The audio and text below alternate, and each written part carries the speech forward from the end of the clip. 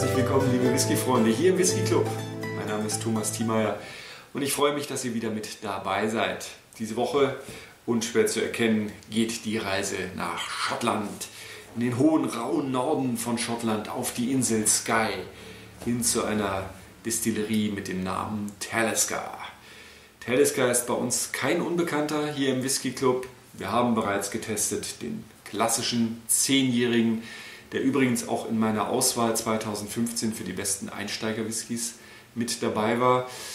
Ich habe aber auch schon getestet die Distillers Edition, beides erstklassige Tropfen. Und heute habe ich euch mitgebracht den 57 Point North. 57 Grad Nord. Ja, ganz kurze Einleitung. Talisker, hier liegt die Isle of Skye und im drin liegt die Distillerie Talisker gegründet 1831 und bis jetzt noch die einzige Distillerie auf der Isle of Skye. Es gibt Gerüchte darüber, dass eine zweite gebaut wird, irgendetwas völlig anderes, aber ehrlich gesagt weiß ich noch nicht viel darüber, muss ich mich mal schlau machen, erfahrt ihr dann hier zu gegebenem Anlass.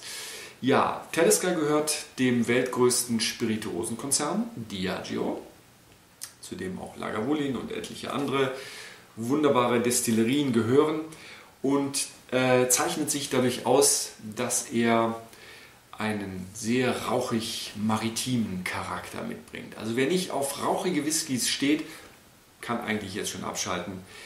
Ähm, wer aber wie ich auch die Isla Whiskys sehr mag, der wird den hier zu schätzen wissen.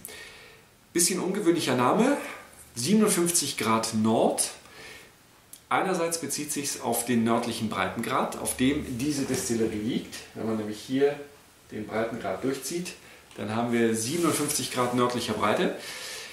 Es bezieht sich aber auch auf den Alkoholgrad, mit dem dieser Whisky abgefüllt wurde, nämlich mit strammen 57 Prozent. So, deswegen habe ich auch mein Wasserkännchen schon in Reichweite. Den werde ich nicht unverdünnt trinken.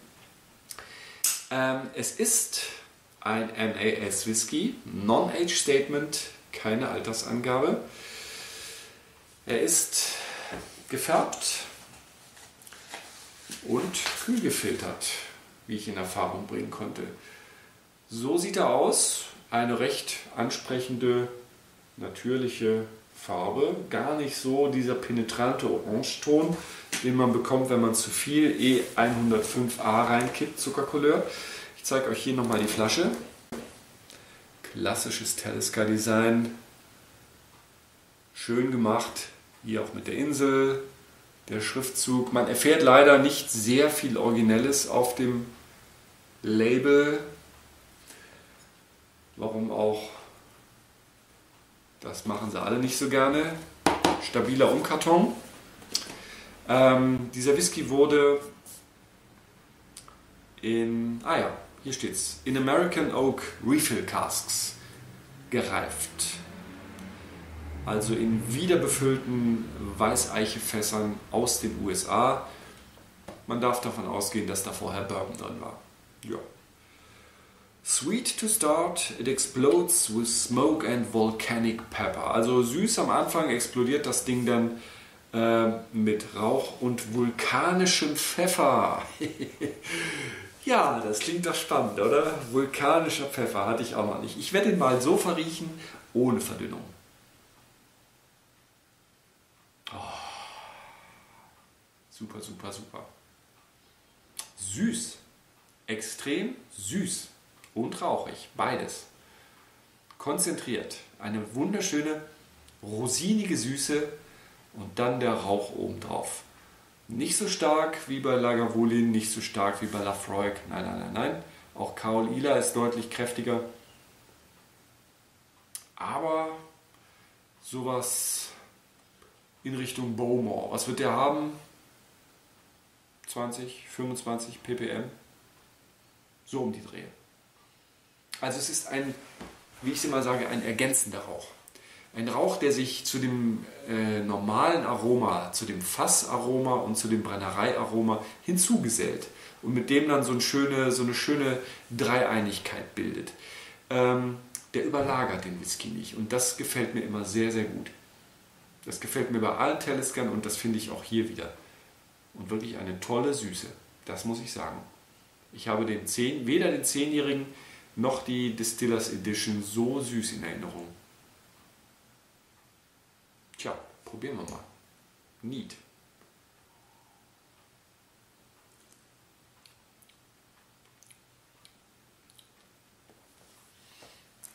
Boah.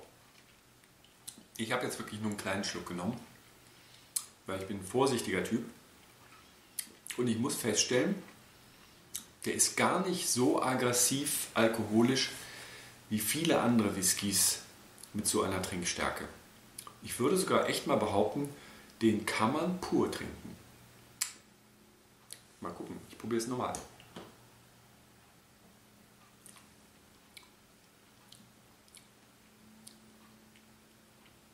Doch, absolut pur trinkbar. Geht. Interesse halber werde ich trotzdem ein bisschen Wasser hinzufüllen. Einfach, weil ich immer die Erfahrung gemacht habe, dass sich unter Zugabe von Wasser das Aroma eines Whiskys verändert. Meistens macht er dann mehr auf, meistens gibt er mehr von seinem Aromenpreis. Schauen wir mal, ob das hier auch so ist. Ja, in der Nase spürbarer Unterschied. Diese rosinige Süße ist jetzt ein bisschen weg. Jetzt kommen eher Saftorangen, Zitrusfrüchte. Immer noch ein schöner Rauch, ein dezenter, angenehmer Rauch.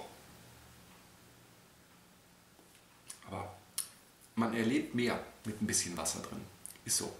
Er ist nicht mehr ganz so verschlossen. Probieren wir mal.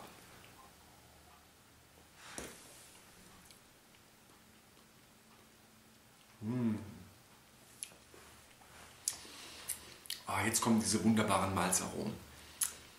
Dieses wunderbar geröstete Malz. Dazu Heidekraut. Gar nicht so pfeffrig wie die anderen Taliskers also zumindest nicht wie der Zehner. Eine wunderbare Süße, Süße, eine trockene Süße, wenn es das überhaupt gibt. Toller Rauch, ölig, mundfüllend, ganz, ganz toller Geschmack. Frucht, viel süße Frucht und Vanille. Das ist ein absolutes Traumstöffchen, will ich mal sagen. Der ist wunderbar gelungen für einen NAS-Whisky, aber auch für einen Whisky mit Altersangabe. Wieder mal ein Beweis dafür, dass man NAS nicht immer nur links liegen lassen sollte, dass NAS durchaus gute Qualität haben kann, nur leider häufig zu teuer ist. Aber in diesem Fall ist er gar nicht mal teuer. Rangiert so zwischen 50 und 60 Euro. Und das für einen Whisky mit Fassstärke, also mit 57 Volumenprozenten Alkohol, finde ich einen absolut fairen Preis und der ist toll gelungen, der Whisky. Hat Talisker richtig gut hinbekommen. Also, wenn ich jetzt so eine Hierarchie bilden müsste, würde ich sagen, zuerst die Distillers Edition, dann der 57 Grad Nord, und dann der klassische Zehnjährige. So in der Abfolge. Ja. Der hat erstaunlicherweise so eine gewisse Sherry-Süße, obwohl das nicht sein kann. Der kommt ja aus äh, reinen amerikanischen Weißeichefässern. Er hat aber trotzdem so sowas, sowas, hm, ja, Sherry-Süße kann man nicht sagen. Sherry ist ja eigentlich trocken, aber, aber diese, diese Rosinigkeit, diese, diese Fruchtigkeit, diese dunklen Früchte, die erinnern mich stark an Sherry-Fassreifung. Hm, kommen die da rein? Keine Ahnung. Ich weiß es nicht. Auf jeden Fall, was ich weiß, ist, dass mir dieser Whisky ausgezeichnet schmeckt und dass ich ihn euch dringend ans Herz legen möchte, den wenigstens mal zu probieren. So, Wertung. Alice North, 57 Degrees, kriegt von mir 93 von 100. Jetzt muss ich mal gucken, was ich dem Distillers Edition überhaupt gegeben habe. Äh, nicht, dass ich das jetzt höher gegangen bin, aber ich bin einfach so begeistert von dem. Äh, auch davon, dass man ihn wirklich auch unverdünnt trinken kann und er nicht völlig, und nicht völlig erschlagen wird von dem, sondern dass er auch unverdünnt äh, schmeckt. Schöne Sache, tolle Sache. Teleska, wunderbar hinbekommen. Wunderbar hinbekommen. Ja, ihr Lieben, danke fürs Zuschauen. Es war mir wieder ein Vergnügen, es war mir wieder eine Freude. Hier könnt ihr den Kanal abonnieren. Dann seid ihr immer auf dem Laufenden, was so passiert. Ich habe übrigens erfahren, dass die News, immer wenn man den Kanal abonniert, immer so eine knappe Woche erst später eintrudeln per E-Mail. Finde ich ein bisschen lange. Warum macht YouTube das nicht etwas schneller? Habt ihr auch die Erfahrung gemacht? Also das war jetzt mal so eine Rückmeldung, die ich bekommen habe. Da hieß es, ja, ich bekomme die Rückmeldung per E-Mail eigentlich immer erst am Samstag, bevor dann das nächste Video hochgeladen wird. Keine Ahnung. Ist das bei euch auch so? Ja, wäre schade, weil dann müssen wir so lange warten. Wie auch immer. Danke fürs Zuschauen. Ich freue mich nächste Woche wieder hier zu sein und euch einen neuen tollen Tropfen vorstellen zu dürfen. Bis dann. Tschüss.